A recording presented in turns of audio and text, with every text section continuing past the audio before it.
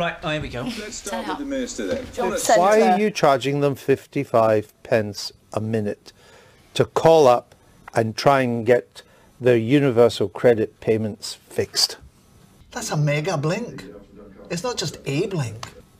Well, I don't know the details of the, the call line, and as you've said, it's more more affordable if you ring up the landline. But the But lots of people don't have landlines The these days. Pull it, give them a signal. On a mobile phone, you're charging 55 pence a minute. Well, I would encourage people to visit the job centre, go in and get the advice. Right, but these are people who've got kids to look mm. after, and you're charging them 55 pence a minute.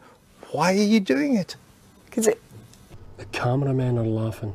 th- this is what I'm saying. We're moving to a new model of the way we support people, and I don't think we should allow the fact that you know, that there have been issues which the welfare secretary has acknowledged to overshadow what is a hugely positive programme. There is very Right. positive feedback. about Me.